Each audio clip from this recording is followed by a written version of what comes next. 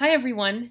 So the Gephi tutorial that's online is really good, but now that Gephi has been updated a couple times, it is not exactly accurate. We're currently on version 0.9 and that was made for 0.7 and I've noticed in my classes that it's often confusing to students when things aren't in the right place.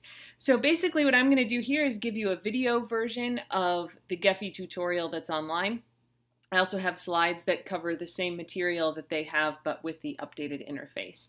And so one thing that we're going to do is start with, instead of downloading the Les Miserables file that's in that tutorial, you can see that it's actually provided here for you as a sample. You certainly can still download it and just go to File and Open, but you can also just click on Les Mis here in the Welcome window.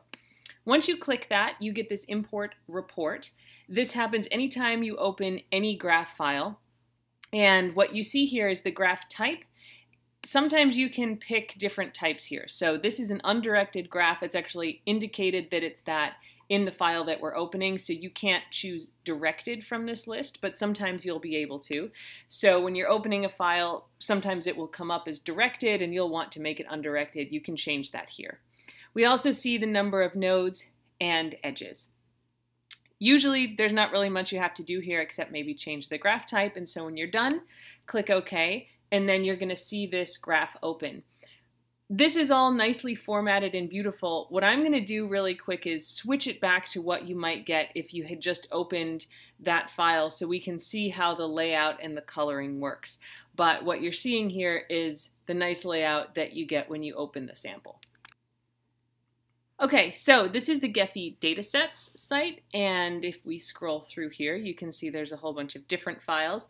This one is the Les Mis dataset, and so what we're going to do is download that, and that's going to let us get a kind of messy graph to start with that we can turn into something pretty. So we're going to download that, and uh, it, this is going into my downloads file. We're then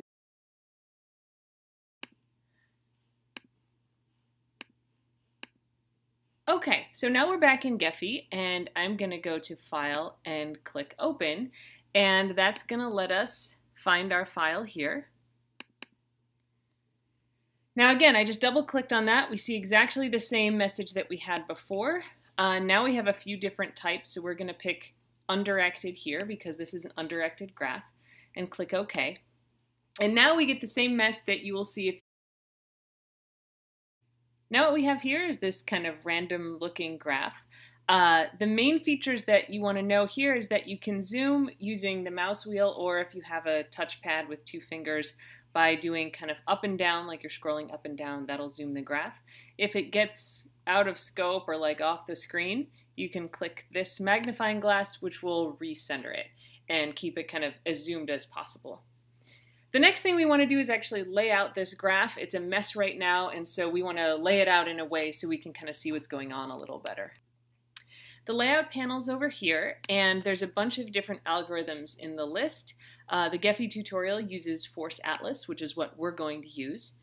There's a lot of different properties down here. I tend to just actually leave these at the default values. But let's look at how to change it. Uh, in the original Gephi tutorial, they have us change the repulsion strength to 10,000, which gives us a more stretched out graph. You just double click to change the value, and then when you're done typing, hit enter. And you can do that with any of the features in here. Once you're happy with it, go ahead and click run, and that's going to give us a laid out graph. You can see it still jiggles a little bit, and down here it still looks like it's running. It'll do that for a while, but once it looks stable like this, you can always just click stop. Now, here's where things get a little bit different than they are in the current Gephi tutorial. What we want to do now is do some coloring and sizing, and that happens in the appearance window up here all the features in the original Gephi tutorial are still here. They just look a little bit different. And in fact, I've even seen it with people who have the same version of Gephi but are running on different platforms. For some reason, these appear a little bit differently. So don't be afraid to kind of play around in the appearance panel and try clicking on the different tabs to find what you're looking for up there. So what I did here is I clicked on the Nodes tab because we're going to adjust nodes. And then over here, this is a little different than previous versions. There are a few options about what we want to do. if you mouse over, you'll get these little tooltips. So this is, I think, supposed to look like an artist's palette, and that lets you change color. This one with the concentric circles lets you change the size. So if we've clicked nodes and then the palette, that lets us change the color. We have then three options down here. Unique, which means you're just going to set one color in this case. Uh, partition, which is if you've got different clusters, which we'll look at how to do or ranking where you sort of have a scale. And so we can pick from this list, uh, degree is how many edges are connected to a node. And so what this is basically going to do is change on a color scale what are the color of the nodes. The ones with the higher degree will be a darker green in this case. Uh, I just want to show you what that's going to look like. If we click apply, you can see we've got this really high degree node in the middle that's really dark green and the rest are pretty light.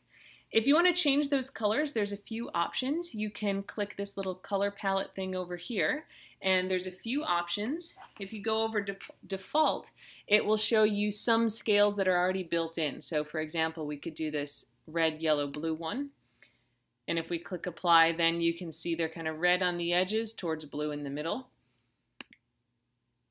Uh, we can do invert and that flips it around. And if we click apply, you can see that has changed that way.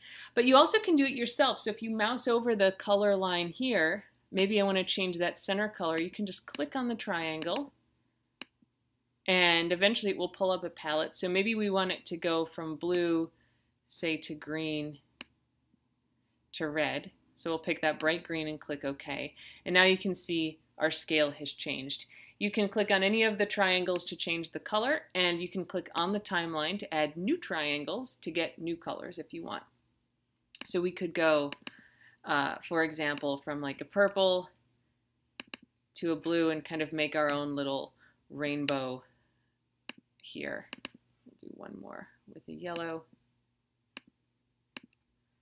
and click apply and then we get this sort of uh, color rainbow going into the middle. So that's how you adjust colors. Now right now we can only do it by degree, but we can run some statistics in order to get new ways to be able to calculate this. First I'm just going to put us back to these preset values to make it look a little more sane. Now let's look at some ways that we can get other statistics that we can then use to change color and size. Over here on the right, there's a tab called Statistics. So click on that. And there's a whole bunch of different statistics that you can use. We want to compute betweenness centrality for this next step. And to get that, you actually have to run the network diameter statistics. So just click Run there. And this is going to give you a little menu here. Just click OK.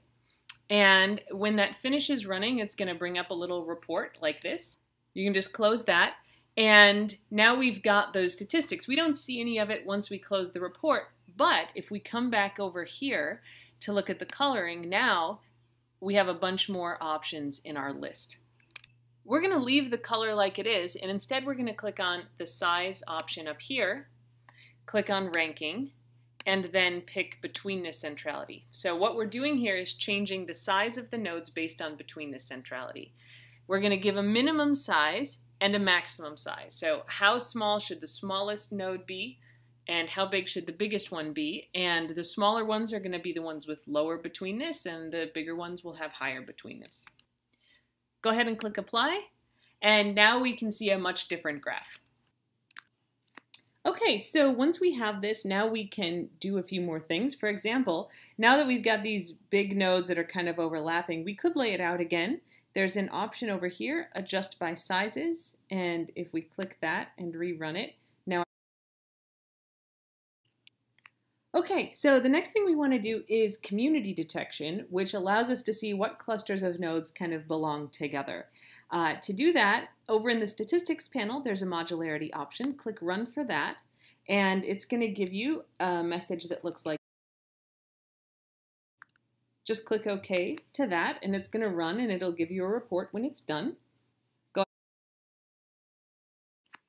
so now what we want to do is use those communities to change the color. So we're going to come back up here to appearance. We're going to click on nodes and then we're going to click the color icon. And now we see three options here and we're going to click on partition, which means we have kind of categories. And from the pull down, we'll choose modularity class, which is what we just got when we ran the community detection algorithm.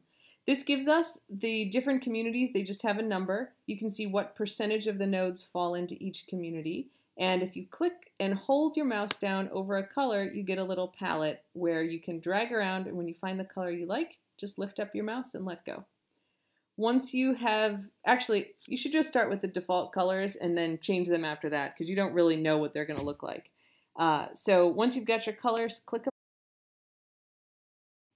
to turn on the node labels, you can just click the T down here, but there's some more settings that might be helpful. Here you can see there's a little uh, pull down, and if you click node size, you'll see that the size of your labels matches the size of the nodes, and if you move this slider, it will change the size. So we can leave it like that. Next, we want to filter the network. If you come back over here, there's the Filters tab.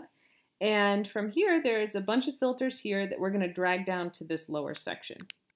So to match with the old Gephi tutorial, we're going to go under Topology and pick Degree Range. We're going to drag that down into Queries to where it says Drag Filter here.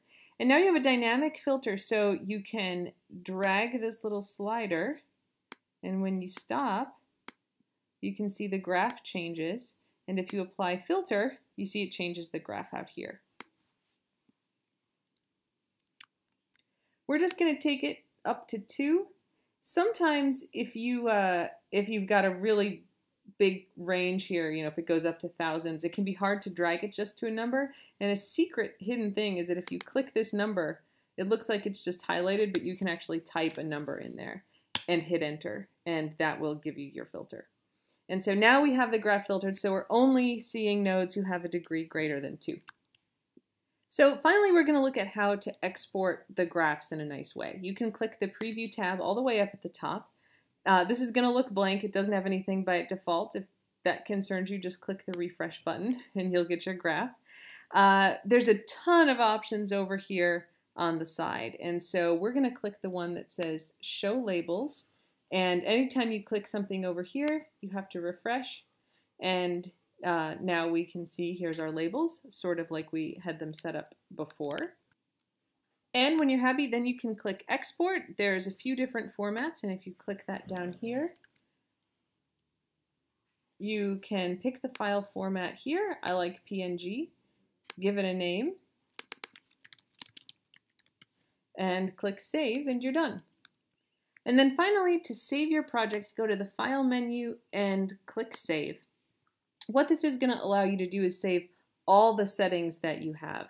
So it'll save the colors and the layout and everything. Um, so we could save this as lesmis.gephi.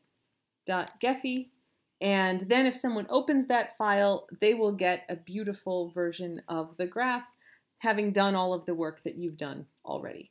And so that's it. That's basically an updated version of the online Gephi tutorial with new features.